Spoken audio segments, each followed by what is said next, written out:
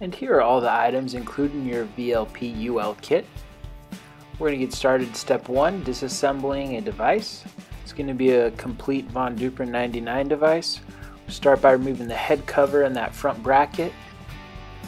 We recommend using a 5 16 nut driver to remove these two screws. If you don't have one, a flathead will also work.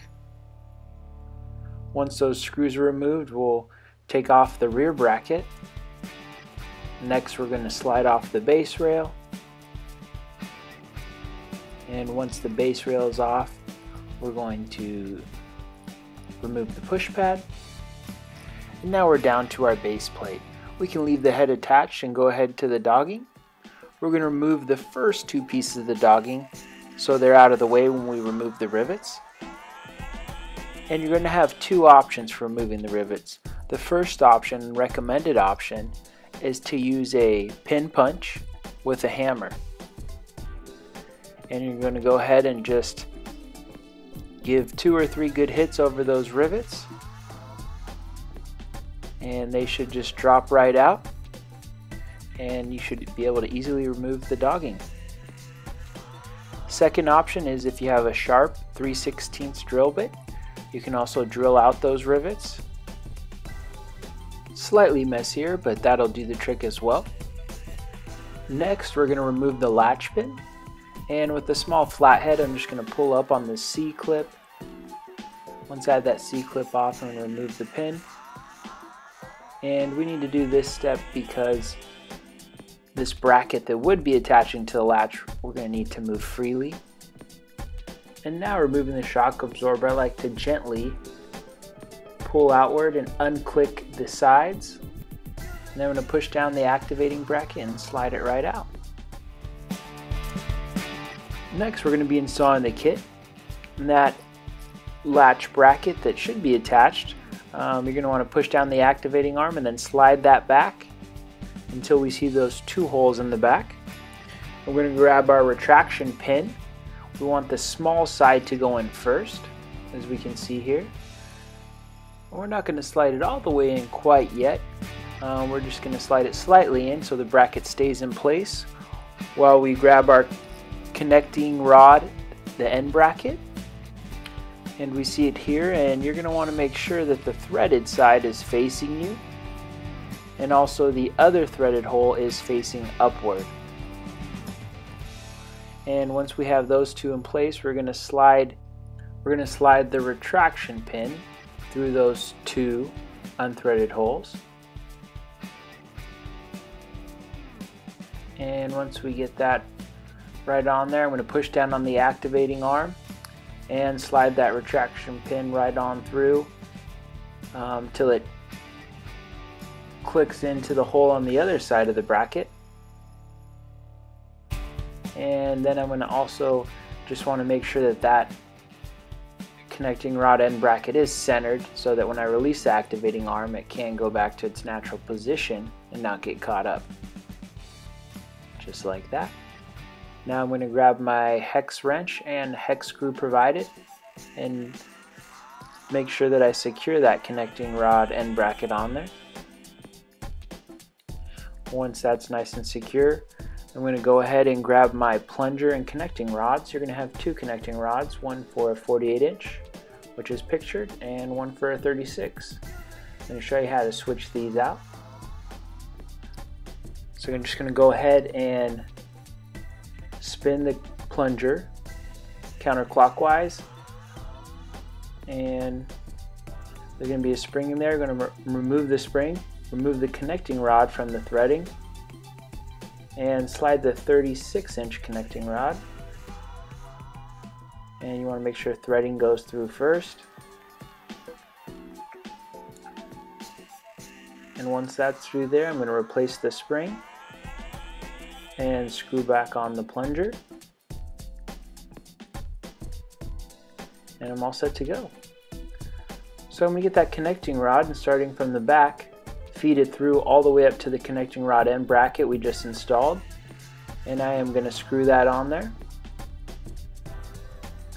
once that's all the way screwed on, Now I'm going to jump back up to that connecting rod end bracket. We can see here that the thread is showing, so we're going to want to rotate it until this smooth part is showing so that when we connect this hex wrench and secure it down into place with our hex screw, um, that that thread is not damaged. So once we find the right spot, we're going to go ahead and screw our hex screw in. Once our hex screw is good and secure, we're going to grab our solenoid.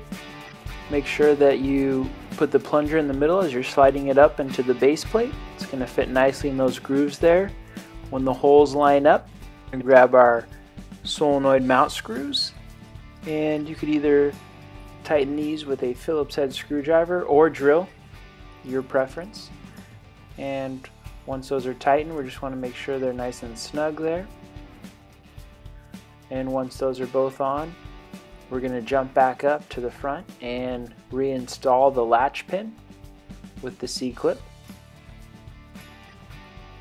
And no tools needed for this. Just get fingers on both sides and press down and it clicks right back into place. And now we're to also remember to reinstall the shock absorber. Just put it right in that little notch and push down and it clicks right into place. And what we recommend next is to install the PM300. And if you do have a power source, we recommend testing it at this point so we can get the proper adjustment on the latch.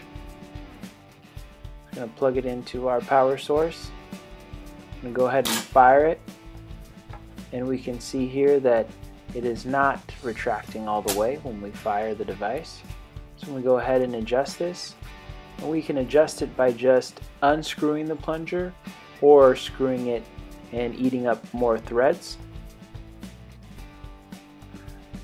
Here I'm going to go ahead and eat a few more threads. What we typically recommend is you would want to have somewhere around 6 to 10 threads showing before you reach the plunger. That's usually the, uh, the correct adjustment we found. Can vary from device to device. We'll see here.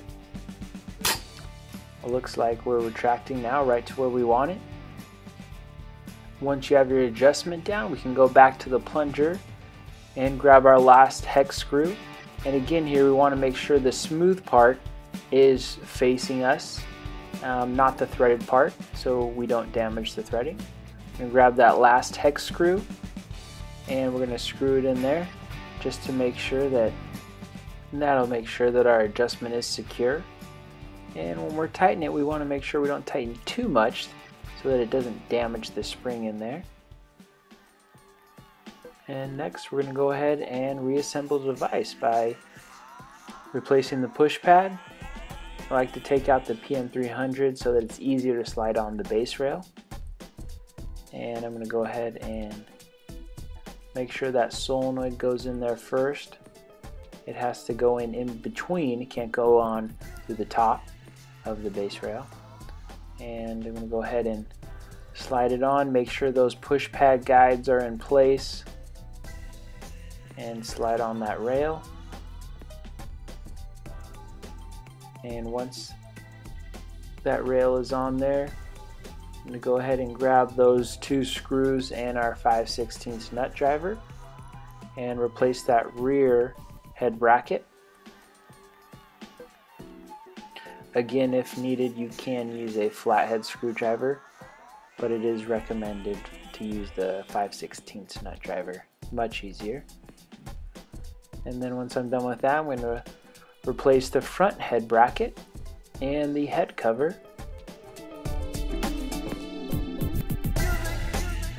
Now I'm going to come back here, remove the filler plate, go ahead and reattach my PM300. It's going to fit nicely right in the back of the device. And we can see here on this filler plate that this device did have dogging that we removed earlier. So we do supply a dogging cap that we can go ahead and plug that hole with. And now your device is ready to go.